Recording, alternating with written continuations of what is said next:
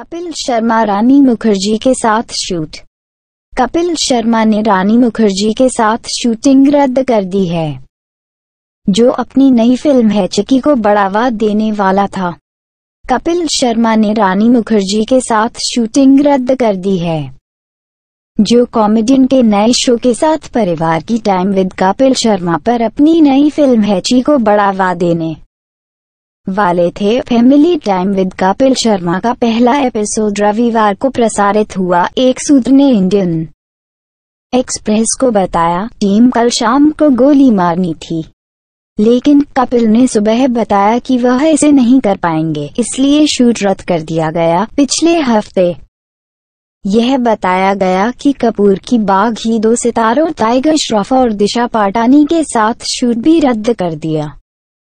गया था। रानी के साथ रद्द की गई गोलीबारी ने पूरी टीम को चिंतित कर दिया है। कपिल पर बहुत उम्मीदें हैं। यह उनकी दूसरी पारी है। वह थोड़ा सावधान रहना चाहिए। लोग उन्हें अलग करने के लिए तैयार हैं।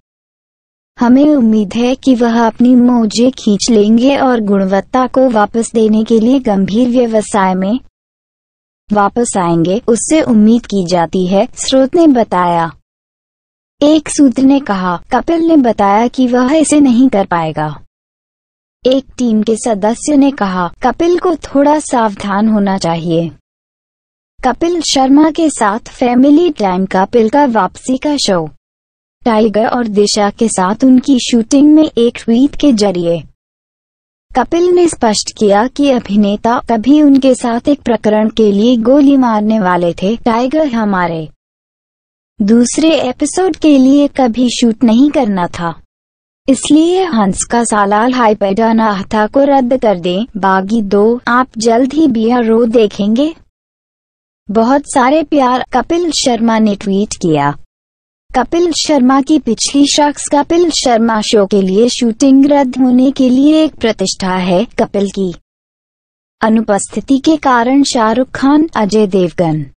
अर्जुन कपूर और अनिल कपूर और अजय देवगन जैसे सितारों को सेट छोड़ना पड़ा, हालाँकि अजय देवगन परिवार के साथ कपिल शर्मा के पहले अतिथि थे। कपिल शर्मा के साथ फैमिली टाइम कॉमेडियन का वापसी का शो है। वह पहले कपिल शर्मा शो की मेजबानी कर रहे थे।